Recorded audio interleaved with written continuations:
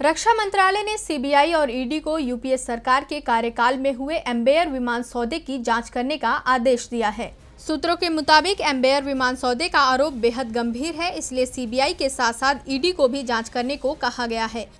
रक्षा मंत्री मनोहर पर्रिकर ने इस हफ़्ते की शुरुआत में कहा था कि अगर इसमें आपराधिक पहलू हुए तो जाँच सीबीआई करेगी। मंत्रालय इसकी जाँच नहीं करता। परिकर ने यह भी कहा था कि अगर यह मसला केवल प्रक्रिया से जुड़ा है तो रक्षा मंत्रालय आंतरिक जाँच कर सकता है।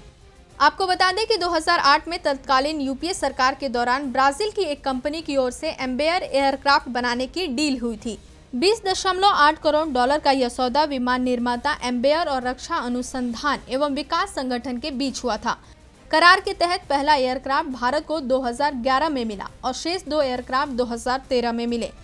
इसमें रिश्वत का मामला तब सामने आया जब यूएसए के कानून विभाग ने अलग अलग देशों में एम्बेयर के साथ हुई डील की जाँच शुरू की।